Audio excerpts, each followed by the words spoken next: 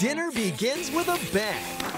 As Rach rolls with the easiest chicken casserole. This just says, hello, friend. Then, cobbled together not one, but two desserts with Chef Ronnie Woo. Here's another tip. If your dessert comes out ugly, ah! out of sugar. Plus, from chewing everything to anxiety, can the Critter Fixers help? Did you even know there was such a thing as bunny braces?